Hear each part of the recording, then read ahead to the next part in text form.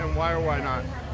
Yeah, I'm going to vote. I mean, uh, everybody's voice does actually play a part in it. The misconception that uh, the Electoral College takes control of everybody's vote and just kind of throws it aside and their vote is all that matters is wrong.